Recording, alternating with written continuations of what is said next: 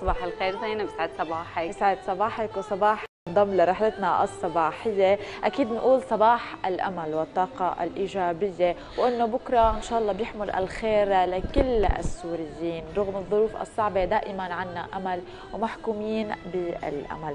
خلال حلقتنا لليوم في عنا كثير من الأخبار من المحافظات السورية ومن العالم وأيضا ضيوف اختصاصيين لنغطي ونضيء على أهم الفعاليات اللي عم بتصير بسوريا. أكيد كل هالأخبار رح تكون معنا لكن قبل ما نبدأ بصباحنا بدنا نوجه تحيتنا لرجال الله رجال الجيش العربي السوري وجيشنا الأبيض. طبعا يعطيكم ألف عافية. وأيضا بدنا نقول لطلابنا اليوم عم بيقدموا مادة آه، للبكالوريا. بنقول لهم إن شاء الله موفقين ويا رب هيك تحققوا أعلى النتائج. قبل ما نبدأ كمان بدي أرجع آه، رحب بسالي وصبح عليها كيف الطقس اليوم سالي شايفتي؟ آه، يعني كان امبارح شو بس ما عم يتقلب الطقس ما عم نعرف له يعني. شيء خاصة بدنا ندير بالنا على صحتنا زينب وبدنا نتمنى لمشاهدينا هالنهار يحمل كل الحب كل الأمال وأيضا الطاقة الإيجابية اللي دائما نحن من شدد عليها من أكد عليها. ليكون نهارنا آه، جميل بجميع تفاصيله ورغم ضغوطات الحياة ورغم الصعاب اللي نحن عم نعيشها. لكن فسحة الأمل لازم تضل بقلوبنا وأكيد بين عيوننا. آه، بدنا نتمنى لكل طلابنا اللي عم يقدموا امتحانات آه، إنه آه، يتكللوا إن شاء الله هيك بالنجاح ويرفعوا اسم سوريا بالعالي. يعني بعد حرب تسع سنين أو عشر سنين خلينا نقول ما زلنا نحن متابعين مسيرتنا العلمية مسي- مسيرتنا الثقافية. واكيد آه، كل يوم بضمن صباحنا غير بيكون عندنا وقفات مع ضيوف آه، من اختصاصات مختلفة. إن شاء الله نكون قد المسؤولية. أخبار كثير بعد الفاصل.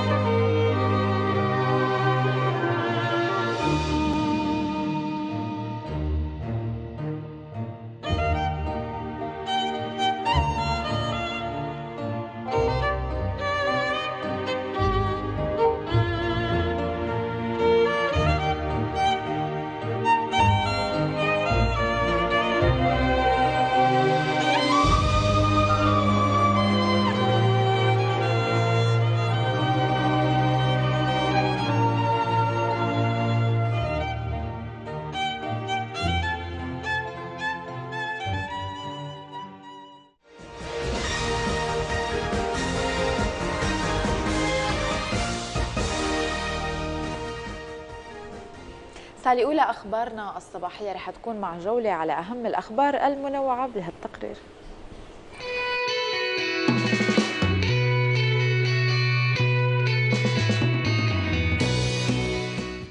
أخبارنا المنوعة لليوم نبدأها من فلسطين المحتلة. فاطمة شابة فلسطينية تحدت البطالة التي قفزت معدلاتها بصورة مؤلمة نتيجة الممارسات القسرية العنيفة التي يمارسها الاحتلال الإسرائيلي في قطاع غزة المحاصر. وبدأت مشروعها الخاص فمن لفائف البوظة في عربة صغيرة وجدت لنفسها طريقها الخاص نحو حياة كريمة. أنا ما استنيتش من بعد الجامعة انه لحد ما أخلص الجامعة مثلا إنه أخذ وظيفة لأنه متأكدة إنه راح أوقف طابور البطالة فلا. لما صحت لي الفرصة إني أفتح المشروع هذا فتحته. أنا بحب شغلي كتير. يعني حابة المنتج بجد. يعني أنا بجد حابة إني أكون شخص منتج منتج يعني مش إنه أكون شخص مستهلك. مش سهل طبعا بعاداتنا وتقاليدنا إنه إنه بنت توقف بمحل بعامة الشعب تشتغل. آه، طبعا لقيت بالبداية يعني إنه في انتقادات كان يعني مش على طول الأمر كان متقبل. وحتى كان يعني لقيت استغراب من الناس على المنتج إنه فكرة جديدة شيء غريب يعني بالنسبة للناس إنه كيف الآيس كريم وهي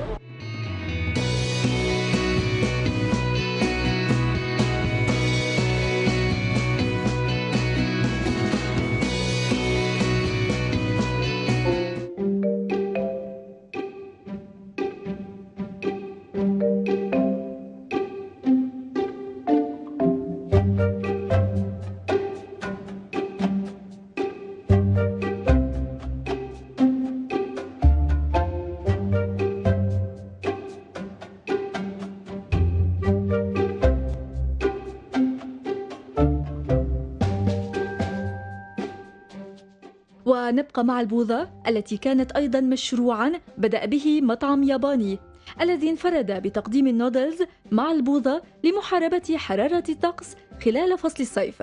ويبدو أن هذا الطبق حاز على اهتمام وإقبال عشاق وجبات النودلز.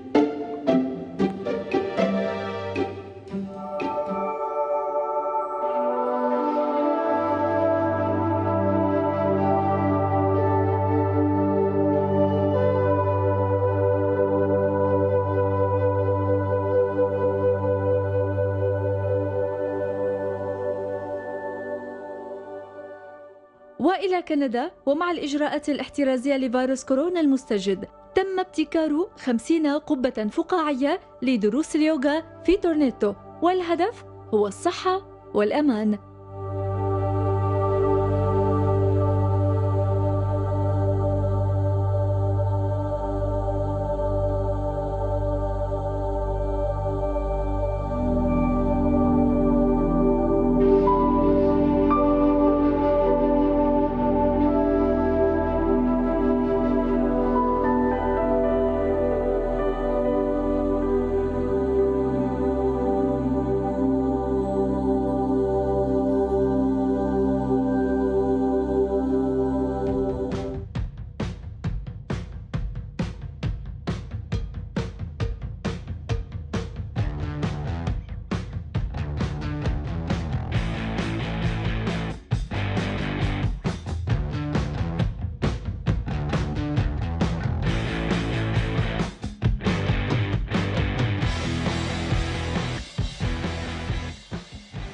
من ساحل العاج ورقصة بهلوانية شعبية تحبس الأنفاس بحركاتها التي تتطلب رشاقة عالية والتي تحولت إلى رياضة رسمية. مشاهد نختم فيها خبرياتنا لليوم.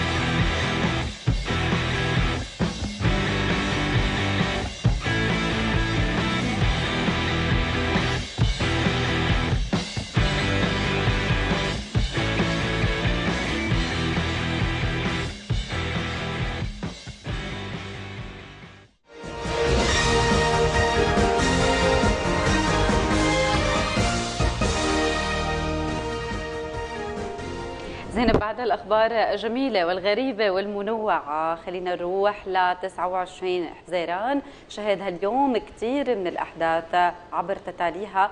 أكيد شكلت حكاية يوم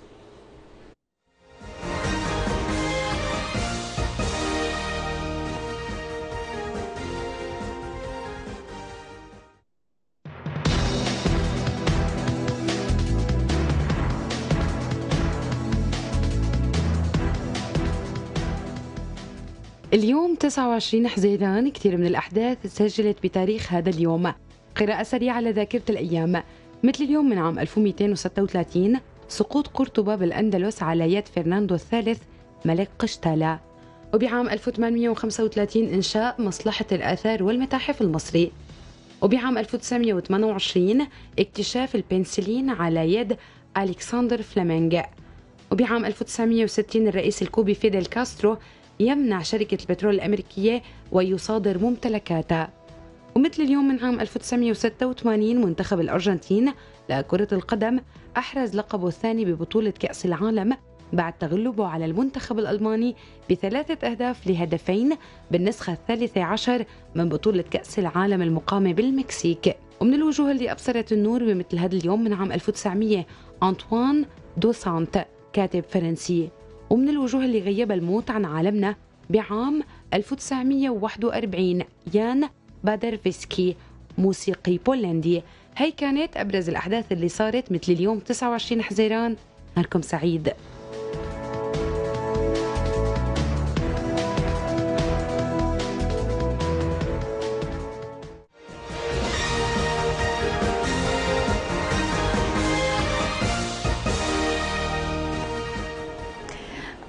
فقراتنا أكيد رح نروح على دار الأسد للثقافة والفنون يلي عودت أنشطتها وحفلاتها بحضور الجمهور بنسبة 30% أيضا بحفل إحياء الفنان اللبناني الكبير مروان محفوظ برفقة الأوركسترا الموسيقى الشرقية بقيادة المايسترو نزيه أسعد. اللي انضم لنا بالاستوديو بنرحب فيه. سعد صباحك وأهلا وسهلا فيك. يسعد صباحكم. أهلا وسهلا. يسعد صباحك. أهلا وسهلا فيك مايسترو. يعني بالبداية كنا عم نحكي تحت الهواء عن تفاعل كيف كان تفاعل الحضور بالحفل الأول؟ طبعا بنسبة حضور خلينا نقول 30% بحسب طبعا الإجراءات المتخذة لحضور هذا الحفل. خبرنا كيف كان التفاعل بهالنسبة يعني القليلة شوي. هلا ببداية مرحلة حظر التجوال صار في كثير تساؤلات يعني بالنسبة للاصدقاء والناس والسميعة. إنه نحن بهي المرحلة شو ممكن نساوي؟ شو شو ممكن نسمع؟ طبعا نحن بموجب الاختصاص بنوجه بالاستماع الموسيقي خلال المنزل وصار في على آه، وسائل التواصل بعض الأعمال الموسيقية الجماعية الجماعية. انتشرت بأسلوب ما كانت بديعة وجميلة. لكن لما آه، تقرر آه، الحفل بنسبة 30% صار في هيك نوع من المتعة أو هيك الحالة الإيجابية الجديدة. صار في تجدد صراحة بالنفسيات صح. تجدد بحالة التذوق للموسيقى إنه بدهم يشوفوا شيء يعني صوت وصورة قدامهم. هي النسبة 30% كانت قليلة صراحة بالنسبة لأي مسرح من المسارح بتلاقوا المقاعد فاضية بيكون في مقعدين فاضيين مقعد مليان. بس مع ذلك يعني كان في يعني حالة حب وعشق لما قدم على المسرح. آه، حفلة الأستاذ مروان محفوظ آه، كانت مقررة في منتصف آذار الماضي. آه، طبعا كان في تدريبات جاهزة وكنا مستعدين لإقامة الحفل إضافة لتأجيل بعض الحفلات الأخرى. بس تم تحديد موعد آخر. تمت استعادة أو خلينا نقول فرمتي أو هيك موضوع تجديد هي الطاقة تجديد هذا النشاط من من قبل الموسيقيين والمعنيين وحتى الجمهور للقيام بالحفلة اللي عملت صراحة استجابه إيجابية. آه، يمكن حتى أنتم كان في عندكم حالة إنه شوق آه، لدار الأسد للثقافة والفنون بالبروفات بالاجتماعات بالتحضير للحفلات وخاصة فصل الصيف كثير بيحمل آه، يمكن حفلات ونشاطات وفعاليات تأجلت بسبب كورونا. خلينا نروح نشوف مشاهد من حفل الكبير مروان محفوظ ونرجع نكمل حديثنا.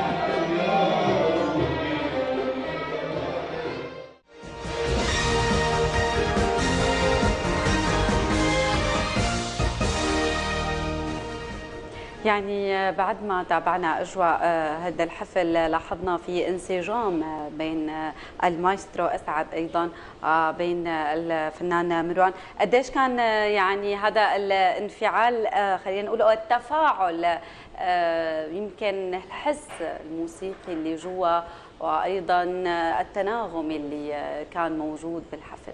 اولا أنا بتربطني بالأستاذ مروان علاقه نقية إنسانية اخويه كثير حلوة نعم. وصداقة. فهي الحالة آه، إذا عممتيها مو بس على مجال الموسيقى فهي حالة ناجحة. تماما. إذا كانوا شريكين في عمل ما بأي مجال الشخصي. مجالات فهذا الشيء يعطي نتائج. آه، غير آه، موضوع ال- المدرسة الموسيقية والمدرسة الغنائية اللي اشتغلناها من خلال أستاذ مروان هي مدرسة نحن تعلمنا منها.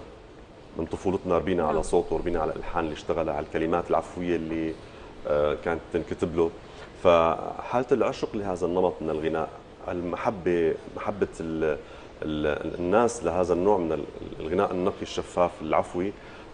صراحة نجحت آه، آلية العمل سواء معي ولا أو مع الأوركسترا. نعم.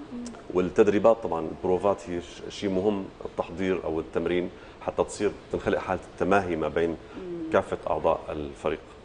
الحفل كان مقرر بشهر آذار بس تأجل بسبب كورونا. خلينا نحكي شوي بما أنك ذكرت البروفات والتحضيرات. آه، خلينا نحكي كيف كانت الأجواء. وخاصة يعني نحن عايشين بظرف معين مفروض على كل العالم. بعد لقائكم وهيك كيف كانت الأجواء؟ كيف كان تحضير الحماس؟ آه، لتعملوا شيء حلو بعد غياب. آه، هلا خلينا نقول قبل. قبل الكورونا أو وقت التحضيرات بشهر اذار أكيد كانت في حالة اندفاع واضحة من الجميع لهذا الحفل وقت اللي تأجلت شوي عملت آه، آه، ردة فعل شوي هيك واقفة يعني خلينا نسميها إذا صح التعبير. وصار في شوق لاستعادة هذا النشاط. لما رجعت آه، الحالة من جديد ما بعد فك حظر التجوال صار في صراحة بدي أقول لك حالة حميمية ما بين الجميع. موضوع التباعد أكيد إحنا راعينا ال- ال- ال- الإجراءات الاحترازية بكل شيء يعني دار الأوبرا عم ما عم يقصروا بهالمساله حتى أعضاء الفرقة بين بعضهم عم يصير في حالة آه، مو مو حذر هي حالة آه، احتياطيه احتياط. احتياطية تماما تعقيم وما تعقيم يعني هي لابد من هي. الحالة في أي مجال آخر أكيد. في الأسواق في الشوارع يجب أن آه،. تكون هذه الحالة موجودة ما بين الناس عامة يعني آه، على المسرح مثل ما نكون شايفين آه، أو شفتوا حتى الجمهور المتباعد. آه، هي آه، آه، حتى لو كان في تباعد فهناك قرب قرب روحي قرب آه، آه، إنساني من آه، بين كل شخص والآخر. ونحن بنتمنى دائما تكون هالعلاقة القريبة آه، علاقة ملاصقة وليست قريبة فقط آه، بين بعض إن شاء الله. أكيد. يعني دائما آه، وجود آه، مثلا شخصيات آه، خلينا نقول فنية وقامات كبيرة فنية مثل الفنان الكبير مروان محفوظ هي تشكل قيمة مضافة لمسيرة فنية فنية خلينا نقول ولا شيء ممكن نحن نضيفه للسي في مثلا تبع حفلات اللي انعملت أكيد أكيد ما هي القيمة المضافة اللي ممكن تشكلها حضور هيك قامات طبعا نحن بنفتخر فيها وخاصة هو جاي من سفر وقطع مسافات ليكون ضمن آه، بسوريا يعني وضمن هالدار العظيمة دار الأوبرا. آه، هلا هي تسليط ضوء على مثل ما حكيت من شوي هذه المدارس آه، هذه القواميس التي نتعلم منها الأبجدية.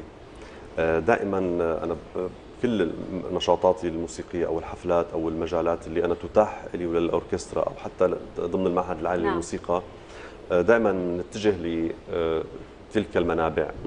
آه، هي طبعا تضيف قيمة فنية وتضيف قيمة ثقافية وتزداد طبعا آه، حالة الشرف لنا بان آه، أسماء مثل اس- اسم الأستاذ مروان وغيره من الفنانين الكبار على مستوى البلد سوريا وعلى مستوى الوطن العربي. ونحن طبعا بانتظار الكثير من ال- النشاطات والفعاليات التي ممكن أن ترفض الحالة الثقافية، ترفض النشاط الثقافي في البلد. من حتى لو كانوا صغار السن يعني في أسماء مهمة اعمارهم أقل بجوز الاستاذ مروان عمره يعني هلأ آه، الله يمد بعمره آه، آمين. يعني آه، هو سندنا ومثل ما قلت أصالتنا وقطع مسافة من كندا إلى سوريا لإقامة أكيد. هذا الحفل ففي شباب حتى كمان بأعمار يعني متوسطة هامين يجب تسليط الضوء عليهم لحد ما نرفض هذه الحالة اللي عم تتفضل فيها نعم بما أنه يعني التحضيرات وهالشغف كثير كبير لحفلة آه، الكبير مروان محفوظ اللي غنى كثير أغاني أيضا من التراث اللبناني. رح نروح كمان نشوف أجواء من الحفلة ونرجع.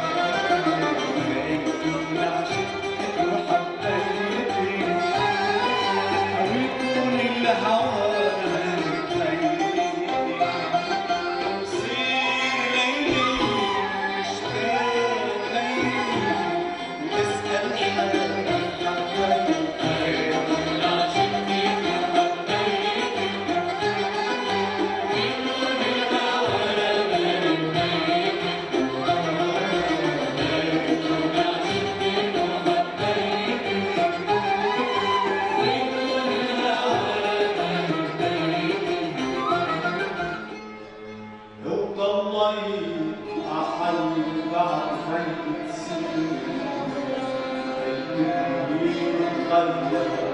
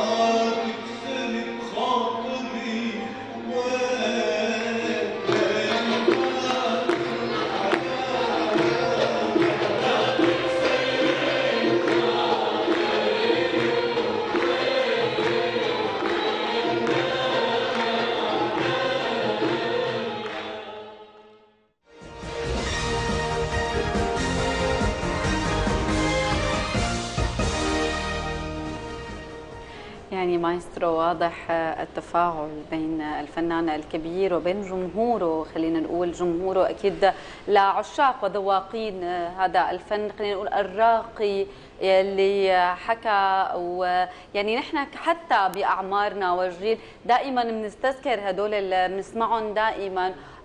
لهدول الموسيقى وما فينا ما نحبهم يعني اللي بيحب الموسيقى بده يحبهم. آه، كيف كان هالتفاعل وكيف كانت ردة الفعل بعد الحفل؟ هلا طبعا وردت الأغاني عبر التاريخ مثل خايف كون عشقتك وحبيتك تماماً. سيف للعدا طايل وهدول اللي كنا نسمعهم بالإذاعة دائما وإحنا بالمدرسة تماماً. حتى نسمعهم تماما غالي غالي يا وطني الغالي مثلا كنا نسمعها بفرصة المدرسة يعني صحيح. بتتذكروا هي كلها صارت أناشيد آه، متداولة بين صحيح. الأطفال والكبار واليافعين آه، فمجرد ما نسمع هيك لحن عفوي بكلامه البسيط كلامه اللي طالع من القلب اللحن اللي جاي ملبس على اللحن تماما والأداء اللي من هذا النوع من قبل هاي القامة. الكبيرة. إضافة لمحاولتنا لتنفيذ هذا العمل كحالة إخراجية إذا صح التعبير تنفيذها. طبعا تعطي هذا الانطباع الحلو أو ردة الفعل والاستجابة بالتصفيق حتى ال- أنا عم كنت عم أسمع وراي الجمهور في ناس عم تغني معه حافظين كلماته يعني بمعظم الأغاني اللي اشتغلناها بالحفل في ناس حافظين كلماتها. فهذا الشيء آه، طبعا إحنا آه، نتمنى إنه ينتشر ويصير في حالة تذوق عامة عند الناس للحفاظ على هذا النوع من الأغاني العفوية البسيطة نعم. ما بعد الحفل كان آه، طبعا ال- الاطراءات يعني والكلام اللي إحنا تلقيناه من قبل النا- الناقدين الفنيين والسميعه العاديين وال- والاطفال حتى كمان كان في نعم. أطفال إذا لاحظتوا وكبار السن هي على سوية واحدة. الكل بيعشق العمل الجميل يعني الحلو ما بيخبي حاله مثل ما بيقولوا. أكيد. فالحمد لله صار في توفيق بالعمل نتمنى طبعا أعمال قادمة مع بقية الزملاء يعني تكون أعمال ناجحة ومتفوقة ومتميزة. أكيد. يعني مايسترو آه، ما شاء الله عليك آه، قائد ومدرب لمجموعة من الفرق الموسيقية أوركسترا الموسيقى الشرقية التابعة لمديرية المسارح والموسيقى فرقة أمية التابعة لوزارة الثقافة نهاوند التابعة لمعهد الأسد للموسيقى وفرقة شباب سوريا التابعة لاتحاد شبيبة الثورة فرقة روح للموسيقى الصوفية والروحية وفرقة الأنغام العربية. آه، خلينا نحكي عن مشاريعك يعني آه، الجديدة القادمة خاصة أنه أنت آه، منخرط بأكثر من نشاط وأكثر من مجموعة. الحقيقة هلا أنا مو بس ب... ب... بعشق قيادة الفرقة في اتجاهات بالتأليف الموسيقي هلا قريبا في دار الأوبرا في عمل اسمه المنديل آه، عامل له تصور موسيقي أو مؤلف له موسيقى هو عمل ضوئي آه، راقص. آه، يعني مدته قصيرة هو هيك فلاش صغير لواقع حياة البشر على الكرة الأرضية. طبعا من اخراج الأستاذ بسام حميدي لمدة ثلاث أيام هذا كتأليف موسيقي. في عمل آخر عم نشتغل له عمل درامي صراحة أغاني في مسلسل- مسلسل اسمه شارع شيكاغو للمخرج محمد عبد العزيز. هذا اتجاه آخر غير قيادة الفرقة. هو طبعا هي حالة موسيقية عامة قد تكون هي بدي أقول آه، شغف ومحبة لهذا الخط من الحياة يعني أكيد آه، هاي الفرق اللي آه، طبعا عدت هي هي عبء يعني بصراحه و... مسؤولية. وجهد ومسؤولية ويعني و... يعني فيها كافة الأعمار في أطفال في صحيح. كبار في آه، شباب في خريجين أكاديميين وفي هواة فلذلك آه، عم تتطلب صراحة تدقيق. وتمحيص بآلية العمل ويعني وضع خطط آه، لست وحيدا في هذه الأعمال. طبعا هو كلها أعمال جماعية حتى الحفل اللي سويناه الاستاذ مروان هو عمل جماعي بامتياز مو لحالي اشتغلته. الكل يشكر آه، بتنفيذه. إضافة لل- للفرق اللي حكيتي عنها حضرتك. آه، فدائما العمل الجماعي يعطي نتائج ناجحة. أكيد. نعم. يعني بنتمنى لك التوفيق بجميع ما ذكرت آه، أكيد آه، وبمشاريعكم القادمة.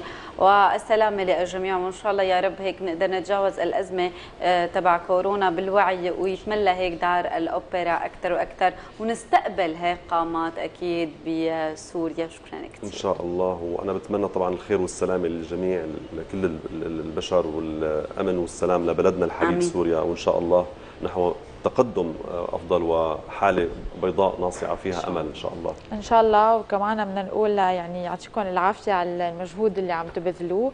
وما في أحلى من الموسيقى لمسة أمان بزمن الكورونا خلينا أكيد. نقول. وسلام. ومثل ما حكينا بس تكون عمل من متكامل. قبل الكل فهي عمل ناجح بيكون. أكيد. مايسترو شكرا لوجودك معنا. وبالتوفيق بالأعمال القادمة. شكرا لحضراتكم. شكرا. الخير. لك. ما هلا زينب بدنا نروح لمعلومات جديدة وغريبة. خلونا نتابعها بهل تعلم.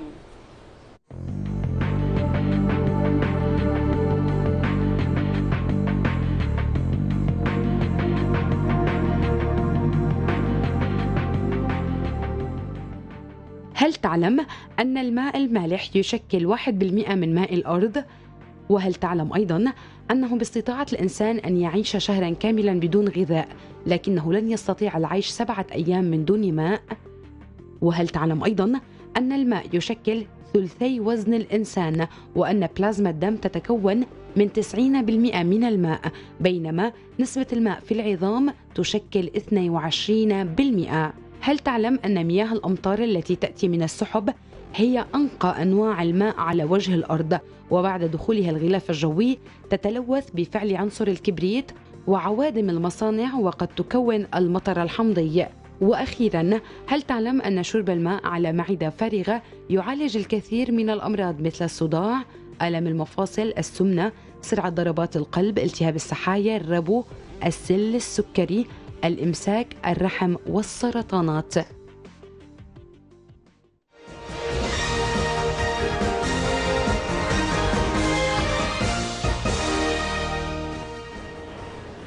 وهلا رح نبقى أيضا باتصال هاتفي مع هبة. طبعا مروان البطلة السورية ولاعبه منتخب سوريا منذ عام 2004 بطلة العرب وغرب آسيا برمي القرص.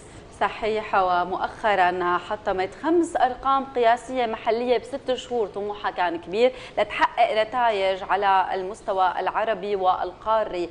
أيضا توجت العمر بلقب آه، أكيد للعرب وغرب آسيا. احترفت ونالت صفوف الزمالك المصري وتتواجد الآن معه بعدة بطولات بدبي. هبه يسعد لي صباحك.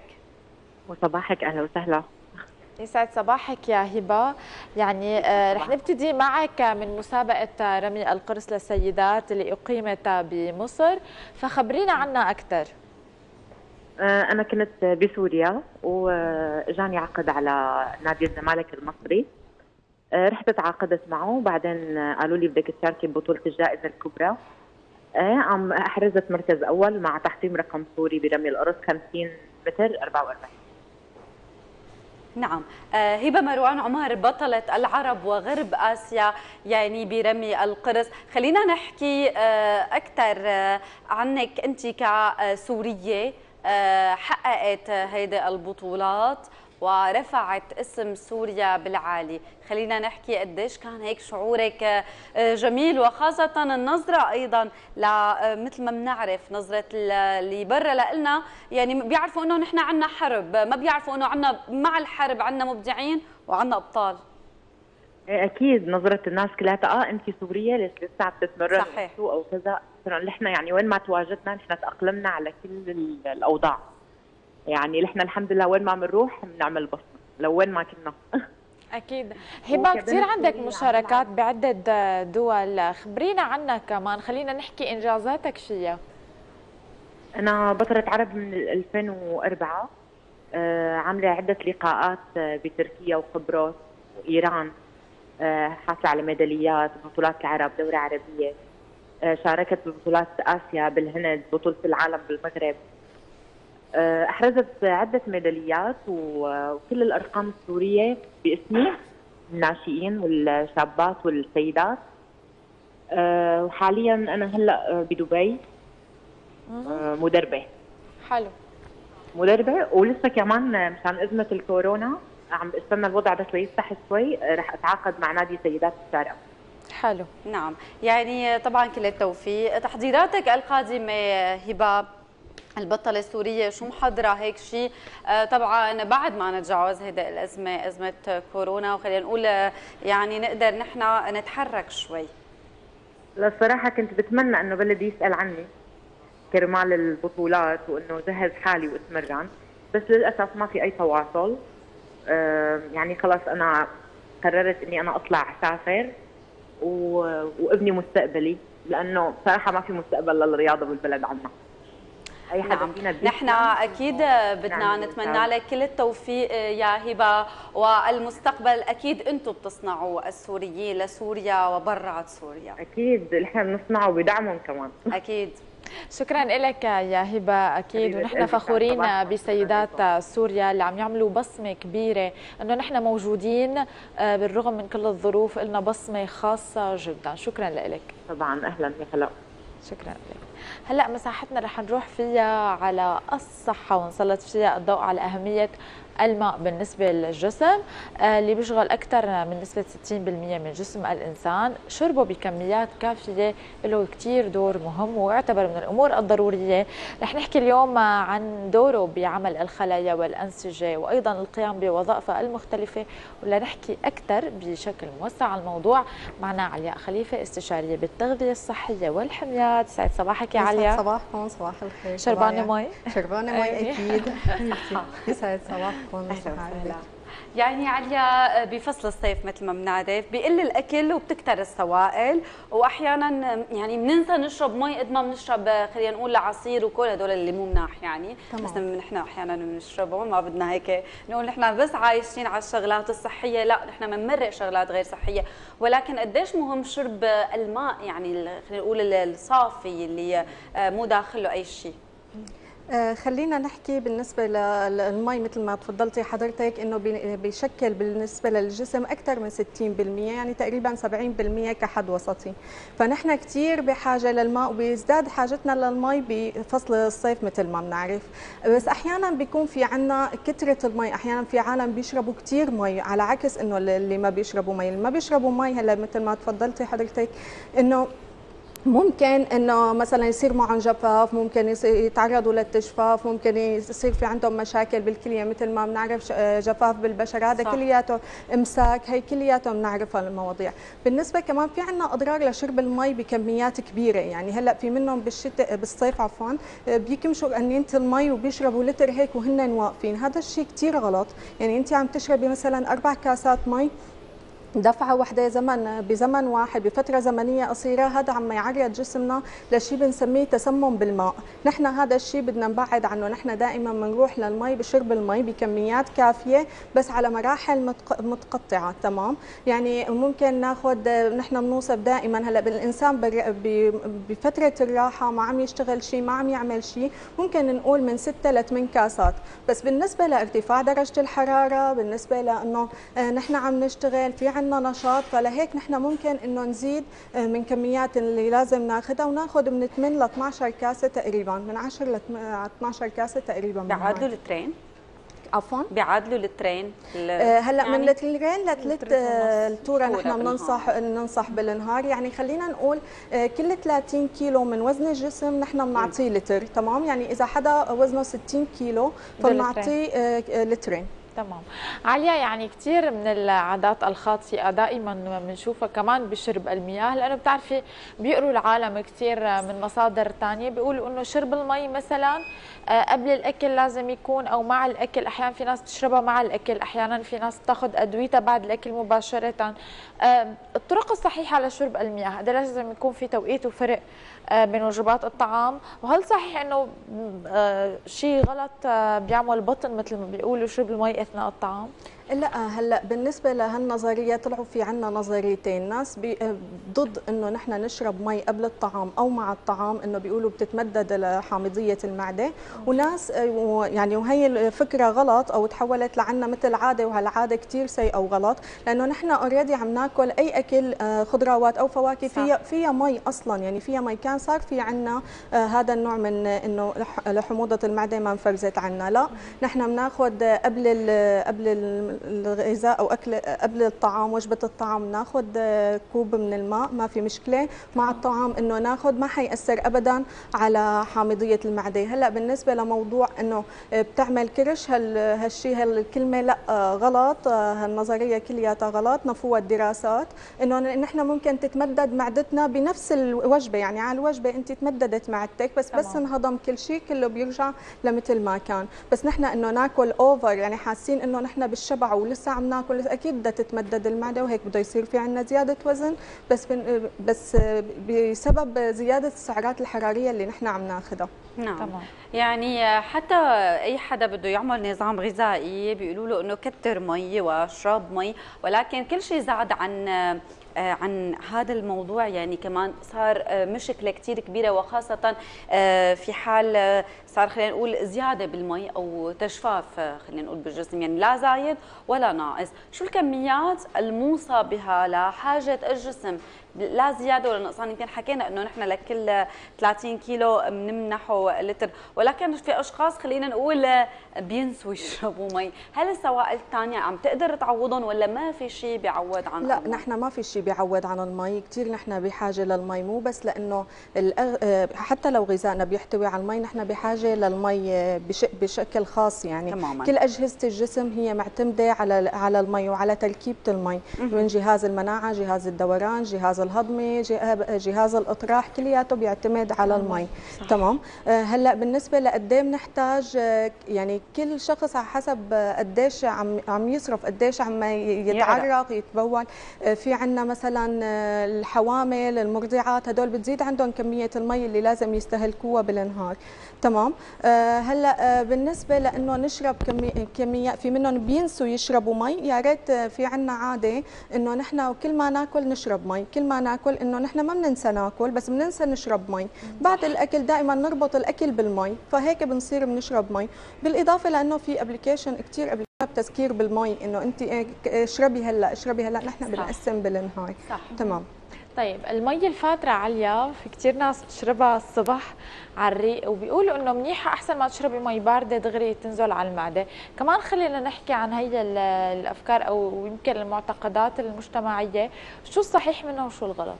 هلأ اللي بالنسبة للأشخاص اللي بيروحوا للمي الباردة هدول بيفكروا إنه نحن بس أخذنا مي باردة حينقص الوزن يعني في نظرية إنه نحن بس ناخذ مي باردة بصير الجسم بده يعدل درجة الحرارة المي اللي أخذناها فبصير بيصرف بيصرف calories. لأ نحن هيك وقت اللي عم ناخذ مي باردة نحن عم نعرض جسمنا لصدمة عم ممكن يصير في عنا التهاب بالحلق ممكن يصير تنزل على المعدة تعمل لنا تضيق بال- بالأوعية الدموية نحن بغنى عنها لأ نحن مع المي الدافية دائما بنروح للمي الدافية مثل وقت اللي كنا ننصح فيها وقت اللي نكون صايمين. دائما كنا نقول إنه نفطر على مي دافية. مي الدافية أفضل للكلاوي للكبد لكل جهازنا المي الدافية أفضل. نعم. نعم. بدنا نصائح هيك أخيرة على السريع وأكيد لكل يلي هلأ عم بيتابعونا حول هذا الموضوع وخاصة شرب المياه وبفصل الصيف مع الشوب يعني. تمام. خلينا أول شيء انه نقول لهم إنه يحسبوا كل 30 كيلو من جسمهم خليهم ياخذوا له نعم. لتر من المي. خليهم دائما قد إيه بيتعرقوا يعوضوا فيها يعوضوا فيها سوائل. آه، خلينا دائما ما ننسى شرب المي مثل ما حكينا نربطها بالأكل. نعم. ودائما نحافظ على صحتنا. يعطيكم العافية. شكرا لك يا علي على كل المعلومات اللي أعطيتينا إياها. بنشدد دائما على أهمية آه، المي شرب المي بشكل دائم يعني. مثل ما قلتي كل شيء كثر عن حده صار ضده مثل ما بيقولوا. شكرا لوجودك معنا يا علي. شكرا. كل الشكر لك عليا أما هلأ زينب رح ننتقل لحلب الشهباء والخطوة الأولى لمعرض الفنان مجد كيالي الذي ضم مساحة من التنوع والزخم الفني. تفاصيل أوفى مع وليد هنايا. افتتح معرض فني للفنان التشكيلي مجد كيالي ضم 31 لوحة استخدم من خلالها الألوان الزيتية على القماش دون الاعتماد على أسلوب معين. نفتتح معرض الفنان مجد كيالي طبعا هو من المدرسة الواقعية ولوحاته تعبر عن الأصالة والعراقة في مدينة حلب. آه، حيث تسكن هذه المدينة في آه، جوارح الفنان وعبر عنها بريشته ب 31 عمل.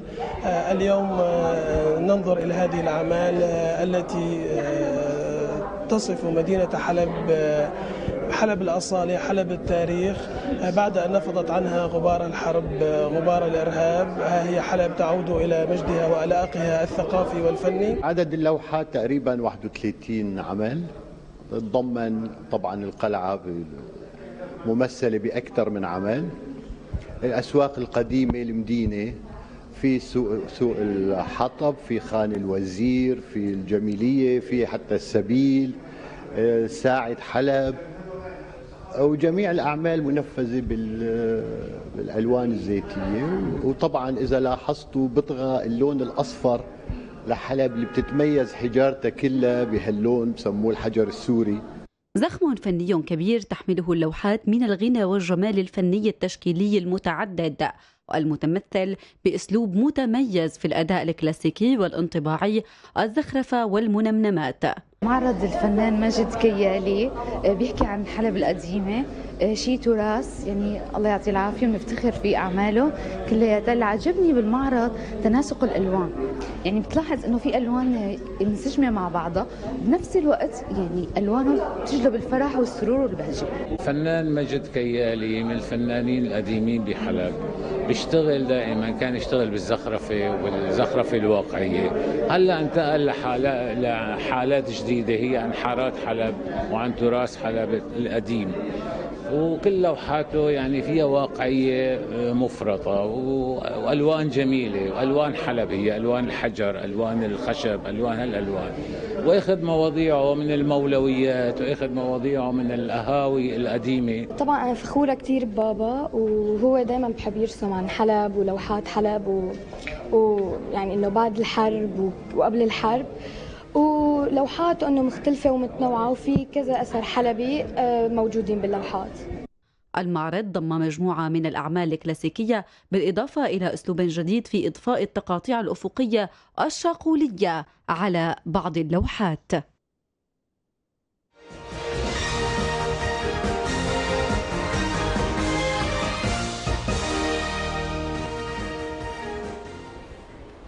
سالي ورح ننتقل أيضا هلأ عن مساحة بتهم كل أم ورح نحكي فيها عن الطفل العنيد. شو أسباب هالسلوك اللي بيبينه الطفل؟ كيف ممكن نتعامل معه؟ سؤال دائما بتسأله كل أم عندها نوع من أطفال الأطفال العنيدين اللي ما بيردوا عليها. نحن اليوم رح نجاوبكم مع رينا أيوب استشارية بالطفولة المبكرة وأخصائية رياض أطفال. صباحك يا رينا. يسعد صباحكم. صباح الخير. يسعد صباحك. يعني أحيانا بيقول الأب والأم بس يتعاملوا مع الطفل. والله نحن ما كنا هيك راسنا يابس خلينا نقول شوي. وعنيدين ومنعذب. خلينا نحكي عن ظاهرة العناد بشكل عام. شو هي أسبابها؟ يعني أكيد ما هي وراثيه أكيد هي ما حالة مرضيه هي حالة سلوكية هي تعاد بالتقليد إنه الطفل شو بيشوف نموذج قدامه كبير عم بيعاند عم بيقول لا فبيتعلم يقول لا.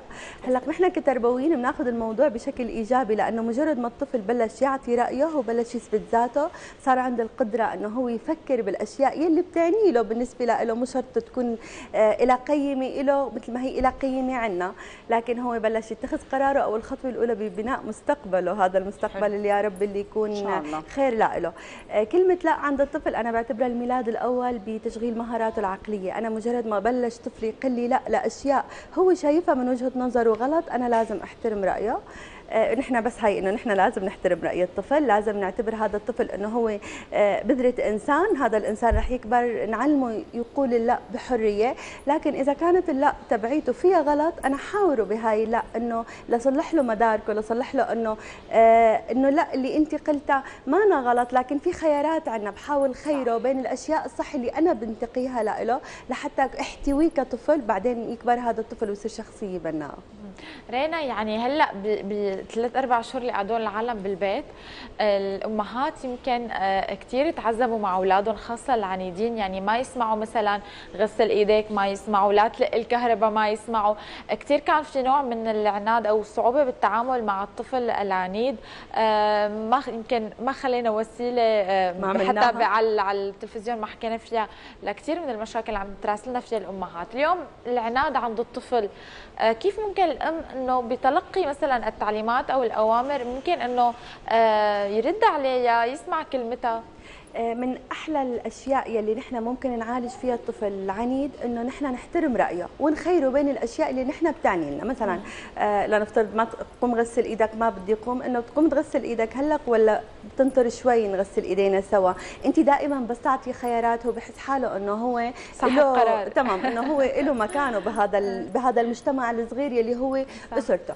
والطفل أو نحن حتى البالغ فينا أو نحن بنقول إنه عندنا طفوله مبكرة هي من عمر ثلاث سنين لست سنين. كلمة اللا بتجي بالأطفال أو بتبلش نسبة العناد عند الأطفال بس يصير عمره سنتين وما فوق لحد السبع سنين.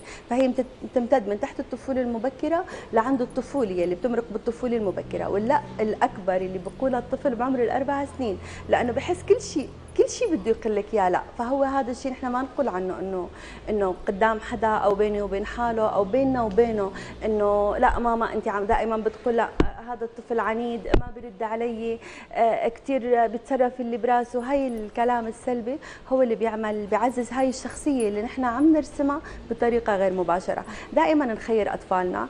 آه، أنا معك بضغوطات هاي الفترة اللي مرينا فيها بين ظروف منوعة. آه، كانت اللقات كثير من الاهالي للأسف مش من الأطفال. بالنهاية الطفل بده يلعب بده يفرغ طاقة بده يبدي رأيه بده يعيش الطفولة يلي جواته. نحن الكبار في طفل جواتنا فكيف صغير يعني لسه ما كبر لحتى يكتشف هذا الطفل اللي جواته من حقه يمارس أي حرية ضمن بيته. صحيح. لكن نحن اللي كان شوي الوضع عنا عنيد. آه، تمام عنيد. نحن الأمهات اللي كانوا عنداء شوي أخذوا الأمور بمنحى سلبي أكثر إنه ابني ما عم يسمع علي صار يرد جواب آه، فورا كبر وصار يعطي رأيه. طب أوكي ما هو بالنهاية نحن عم نربيهم ليكبروا ويعطي رأيهم. ونحترم كثير ذاتية الطفل لأنه أنا من اللا اللي عم بيقولها إذا قدرت إيجاد ايجابيته أنا بطلع معي شاب أو طفل أو طفلة آه، عندهم قدرة أن يقولوا لا بالمواقف اللي بنحطوا فيها لازم يقولوا لا. فأنا ما بدي ربي شخصية ضعيفة آه، اللي أهالي دائما بيفرضوا عليهم عدم قول لا إنه يلي برايي الأم أو الأب لازم يمشي. بيطلعوا شخصية منطويه عندهم ضعف بالذات ببلشوا بيقدموا أظافرهم. هو من أكثر أسباب قدم الأظافر إنه ما بيقدروا يعبروا؟ الحد من إنه مو قدرانين يعبروا عن الشيء اللي جواتهم.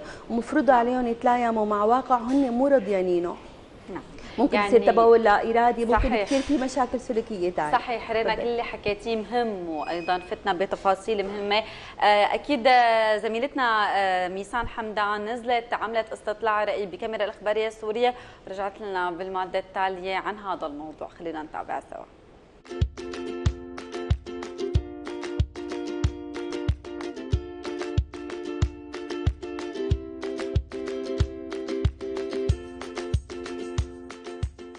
بتعرفي عن الطفل العنيد طيب انت؟ آه هو عم بيتشبث برأيه. أو نحن بنعلمه إنه إذا أنا بكيت باخذ هالشغلة. يعني آه إذا ما بكي ما, ما بتعطي إياها أمه. والأم طبعا آه قلبها يعني ما بتريد إنه يبكي. وتعلم هالشي. أنا ببكي باخذ طلبي. يعني وبتشبث. نحن عم نحقق له غايته. الطفل العنيد آه، قوي. شخصيته قوية. شرس كتير ودائما على تمه كلمة لا هيك برأيك ليش الطفل بيصير عنيد؟ هل هي بيخلق بهذا الموضوع بتقول الام ابني عنيد، هل هو بيخلق معه هي السيرة أو هي صفة مكتسبة؟ آه، هلأ هو بصراحة أول شيء أثناء فترة الحمل عصبية الأم وأثناء الحمل كثير بتأثر. ثاني شيء من لما بيكون بيبي صغير يعني لو بالأيام لما الوحدة بت بتحاكي ابنها حتى لو هو صغير وما بيفهم بس لما بتناقشه هيك بيكون أهدى شوي. آه، لما بيسمع أصوات عالية من برا هو وصغير كله هذا مكتسب يعني مع مع الأيام. لما بيكبر كله هذا بصير ردات فعل عكسية. بيتذمر على طول وبيبكي بصوت عالي وما بيعجبه شيء وبياخذ كل شيء بده إياه بدقيقتين يعني. برأيك إلى أي حد هي الصفة آه، هي مكتسبة أو هي صفة بتخلق مع الطفل؟ هلا أنا بقول إن هي مكتسبة أكثر شيء وخاصة هلا بمرحلة المراهقة يعني. هلا نحن عم نعاني من هاي القصة. أنا عندي ابني عمره هلا 11 سنة. إيه، كتير عنيد مو شوي. إيه، لا أنا بقول انها هي مك- مكتسبة نوعا ما يعني. أكثر الصفات يلي موجودة عند الطفل العنيد؟ إنه خلاص اللي بده إياه بده إياه ما بيرد على أهله. حتى لو جيتي بالمفاهمة بالسياسة بالحكي الحلو لا أنا خلاص أنا بدي هاي الشغلة. ما في حلول مع الطفل العنيد؟ برأيي لا. حتى لو كانت الأم أو الأب بالهم كثير طويل يعني لا. انه ما بيسمع الكلمة ابدا. يعني بتقولي له اترك هي الشغلة بيرجع بيمسكها. لا تروح على هذا المطرح بيروح. آه في حل مع الطفل العنيد ولا ما في حل؟ آه أنا عندي حل إنه آه احرمه من شغلة بيحبها مشان يسمع الكلمة. لا لازم برأيك إنه الأم تكون شوي قوية مع أطفالها بهذا ما الموضوع؟ تعطيه وش ابدا يعني لازم لازم يعني كل شيء له شيء لازم أحيانا تعطيه وش أحيانا لا.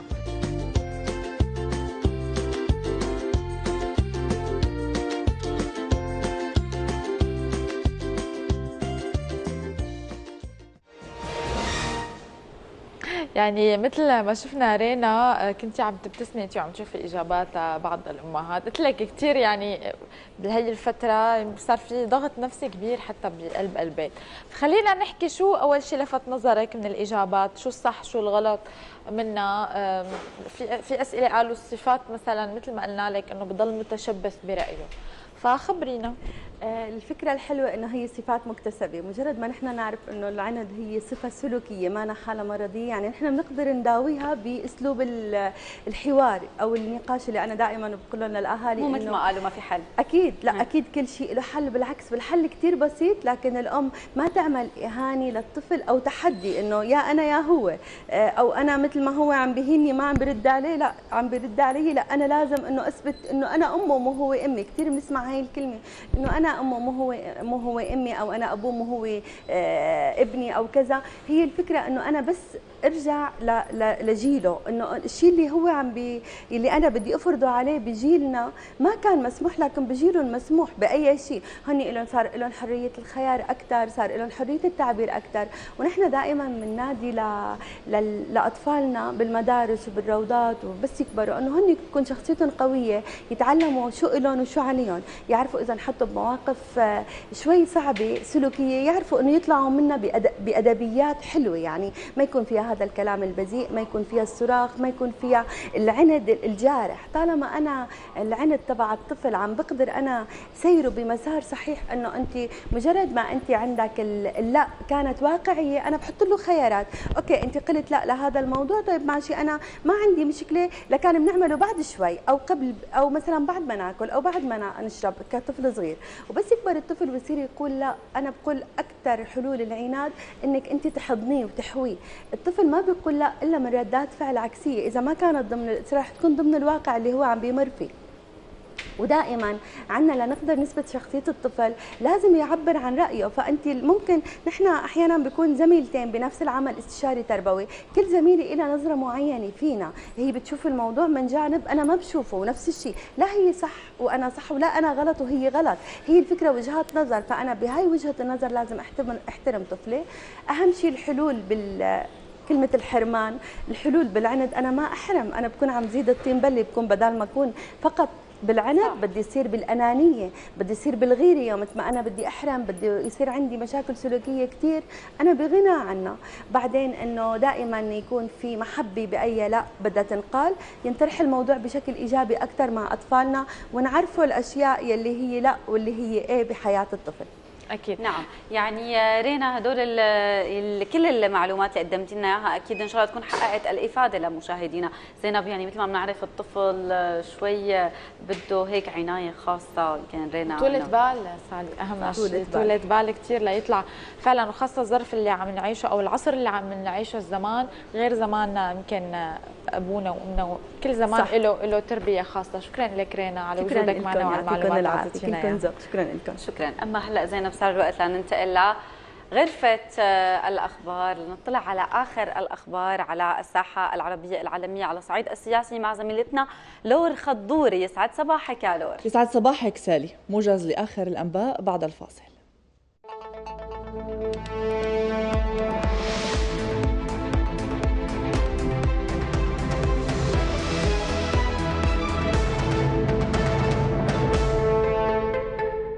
أهلا بكم. جددت سوريا مطالبة الأمم المتحدة بإعداد تقرير عن مدى انسجام القوانين والقرارات التنفيذية الصادرة عن الإدارة الأمريكية والاتحاد الأوروبي بفرض حصار اقتصادي على الشعب السوري مع أحكام القانون الدولي. وأكد مندوب سوريا الدائم لدى الأمم المتحدة الدكتور بشار الجعفري في رسالة وجهها إلى الأمين العام للمنظمة الدولية ورئيس مجلس الأمن أكد مطالبة سوريا الأمين العام للأمم المتحدة بتكليف الجهات القانونية والسياسية المختصة في الأمانة العامة. إعداد تقرير عاجل يتضمن توصيات عملية حول هذا الموضوع. ولفت الجعفري إلى ضرورة أن يشير التقرير إلى التحديات الخطيرة الناجمة عن الإجراءات الأمريكية والأوروبية القسريه أحادية الجانب. أعلن الرئيس الروسي فلاديمير بوتين أن بلاده لم تقدم المساعدة إلى الدول الأوروبية خلال وباء كورونا لأسباب سياسية وإنما لأنها كانت تواجه أوضاعا صعبة مؤكدا ضرورة التعاون الدولي للتصدي لهذا الوباء. وقال بوتين في مقابلة على قناة روسيا واحد نحن قدمنا المساعدة لبعض الدول الأوروبية عندما لم يقدمها أحد حتى أقرب الحلفاء ولم نفعل ذلك لاعتبارات سياسية بل لأنها كانت كانت تواجه أوضاعا صعبة هي التي طلبت ذلك. اندلعت اشتباكات في باريس بين شبان حضروا للمشاركة في حفلة مرتجلة فيما اعتقلت الشرطة العشرات. وكانت الشرطة تحاول تفريق التجمع الذي يخرق قيود وباء كورونا قبل أن تندلع اشتباكات استعملت فيها الشرطة القنابل المسيلة للدموع.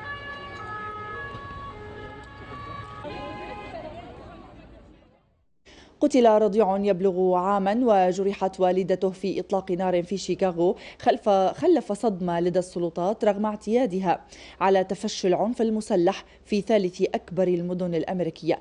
وأفادت الشرطة بأن الأم البالغة 22 عاما كانت تقود في اتجاه منزلها عندما توقف المهاجم بجانب سيارتها وأطلق عليها نحو ثماني رصاصات أصابت الرضيع في صدره وأصابت طرف رأسها.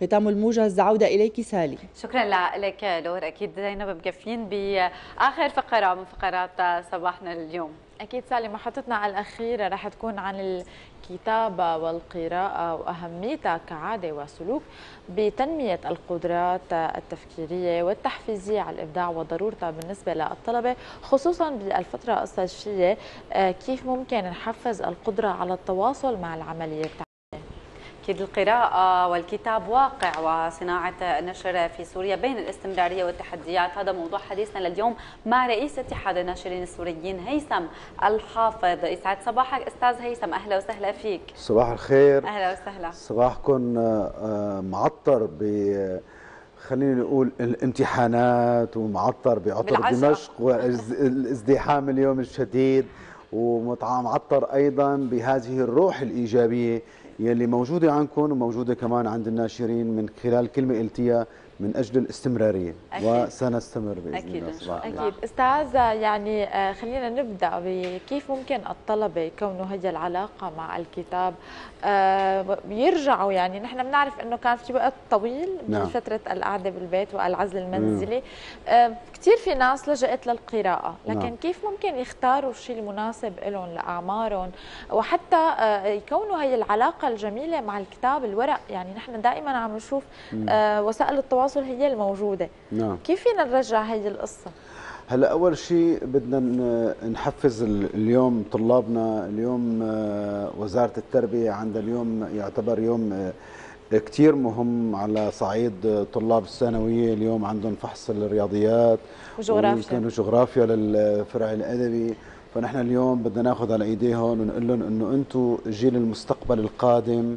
أنتم اليوم عم تخوضوا غمار امتحان كبير إلى دخول إلى عالم الأعمال وإلى عالم العلم والتربية والتعليم و آه، من خلال هذا الكلام بدي أسقط إسقاط أنه نحن اليوم كناشرين أو كقطاع يعمل في مجال الثقافة والتربية والتعليم. نحن اليوم كلياتنا في خليني أقول في ورشة عمل عم نحاول نقدم لهذا المجتمع آه، تطوير وتنمية للقراءة من خلال آه، إظهار عادات آه، جديدة للطلبة وعادات خلينا نقول فيها نوع من أنواع التحفيز لإعادة التواصل على نحو القراءة. أنا دائما بقول القراءة لم تنقطع بمجتمعنا لكن نحن بصراحة بحاجة لإعادة هذا التواصل بحاجة لإعادة اللحمة بين الجمهور اللي هو القارئ وبين صناع آه، الكتاب اللي هن إن كانوا آه، ناشرين وإن كانوا كتاب وإن كانوا مثقفين.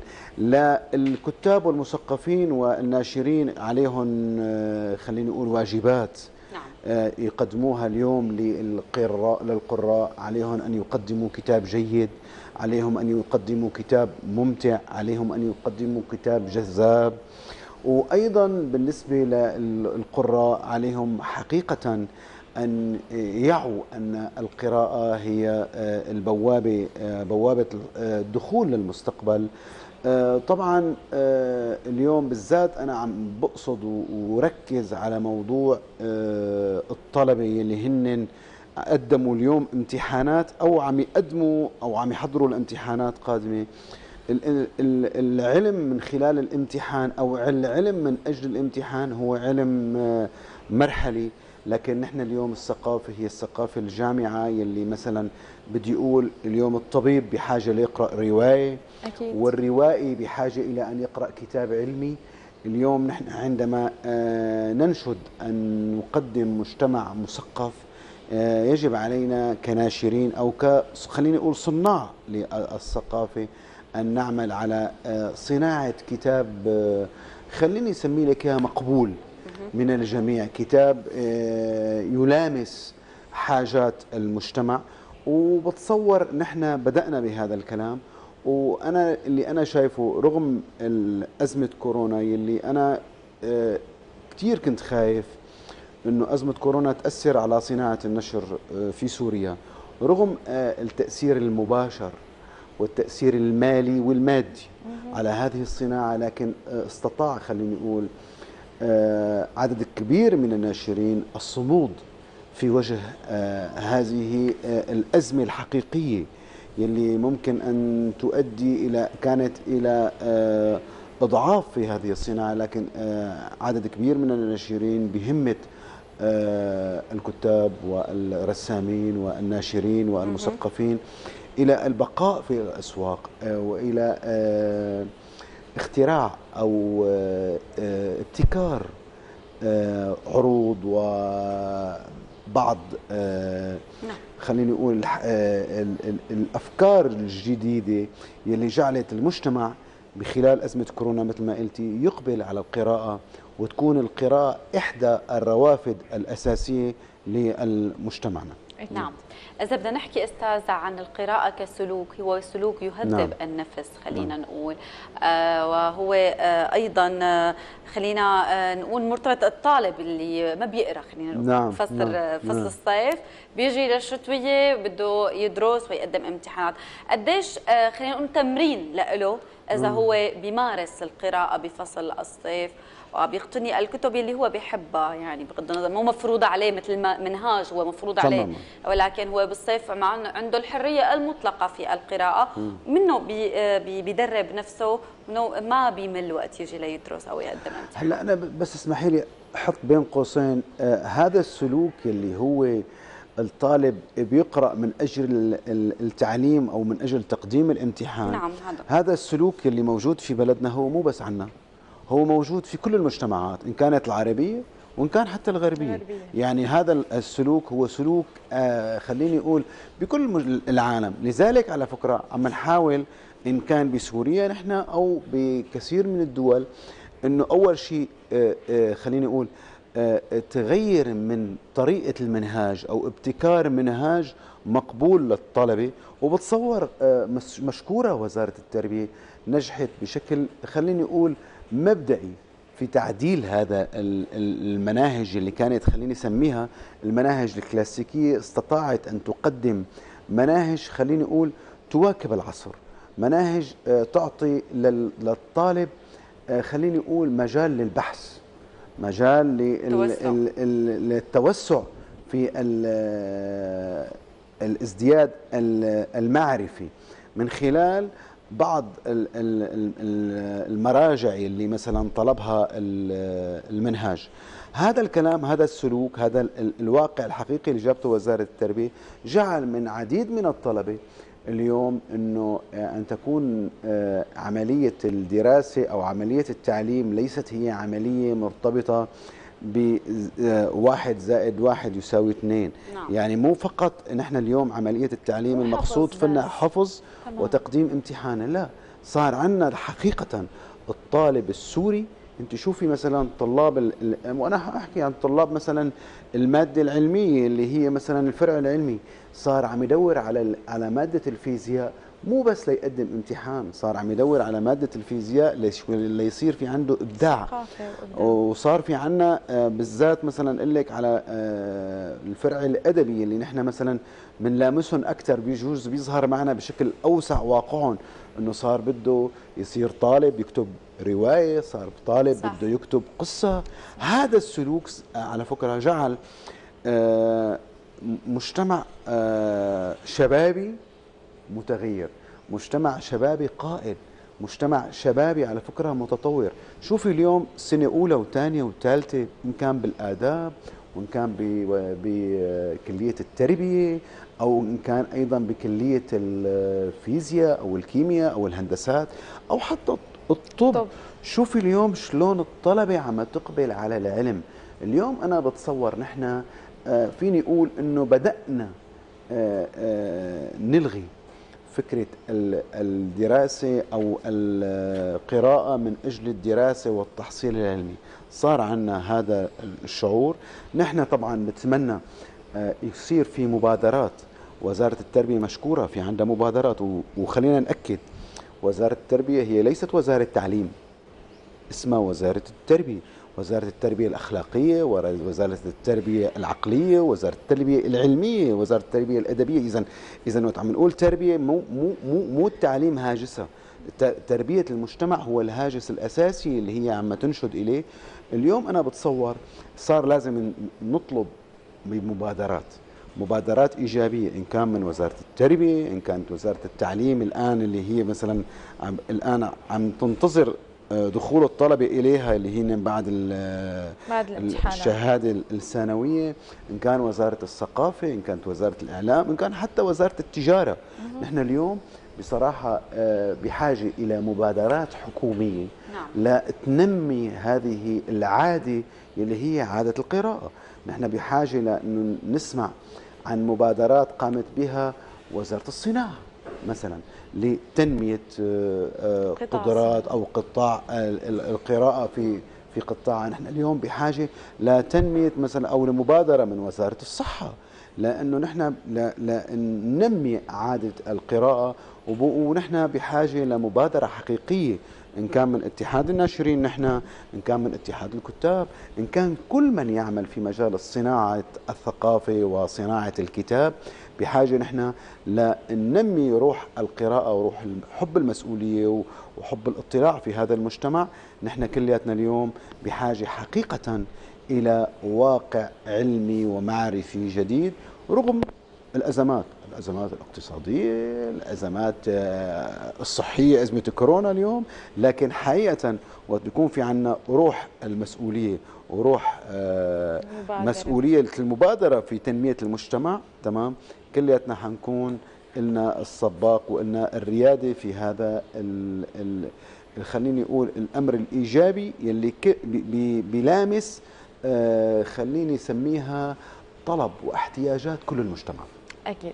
أستاذ يعني نحن آه، أكيد كنا بنتمنى نحكي معك أكثر بتفاصيل آه. معينة بس للأسف خلص وقت برنامجنا آه، شكرا لوجودك معنا وعلى هذا التحفيز والكلام الإيجابي اللي أعطيته للطلبة يعني بتخيل فعلا هلأ كل اللي مقبلين نعم. حابين يكونوا شيء بالمجتمع وخاصة بهي الحياة والظروف الصعبة اللي عم نمر فيها حابين يعملوا بصمة معينة فشكرا لوجودك معنا وعلى هذا التحفيز للعلاقه لتكون فعلا علاقة قوية بالعملية التعليمية أنا بشكرك وبشكر هذا الحضور وبدي بس هيك آه، أعطي ولو فضل. نص دقيقة تفضل نحن في عندنا مبادرة جديدة أطلقتها نعم. آه، بعض الدور النشر واللي هو آه، أنا بحاجة كتابك اليوم بدي ناشد الطلبة يلي عم يخلصوا امتحاناتهم يرتبوا أمور كتبهم ويتبرعوا فيها حلو. للطلاب القادمين وما تكون الكتب يلي خلصت منا إلا هي آه، آه، منارة وطريق سالك للطالب القادم. وأنا بشكركم وبنقول للطلاب بالنجاح والتوفيق. أكيد. شكرا لك أستاذ هيثم واكيد موفقين بكل مشاريعكم أكيد بما يهدف لتطوير والارتقاء بالمسيرة العلمية اللي ما توقفت بسوريا. شكرا لك. تمام. أكيد سالي وصلنا لختام برنامجنا الصباحي. بنتشكر كل مين شاركنا بهالصباح ونتمنى نكون قدمنا الفائدة والمتعة لكم أكيد ختام مسك وتحية لأبطالنا بالجيش العربي السوري والجيش الأبيض الأطباء. يعطيكم ألف عافية. وأيضا بنقول لكل السوريين كل مر سيمر. خليكم متفائلين. بكرة أحلى إن شاء الله. والسلام لسوريا. نهاركم سعيد ونهارك سعيد. نهارك سعيد زينب. ومثل ما ذكرتي أكيد إن شاء الله يا رب نتخطى هذه الظروف والصعاب والغلاء الفاحش اللي نحن عم نعيشه أكيد بإرادتنا بتدبير حالنا إدارة المنزل بطريقة ما. اختصرنا كثير شغلات كلنا اختصرنا كثير شغلات ولكن على أمل إنه ترجع أكثر وأكثر أكيد بفضل خلينا نقول جيشنا يلي عم يدافع عنا وتنتهي جميع الحروب والازمات الاقتصادية. كل الشكر لكم وإلى اللقاء.